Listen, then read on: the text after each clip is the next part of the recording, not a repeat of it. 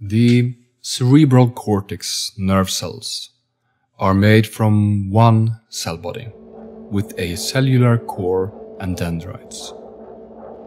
From the cell body, there is a longer extension called an axon, connecting it to the nerve cells.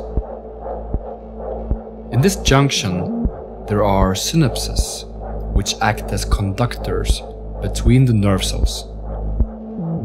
Impulses are transferred between the synapses, making us react.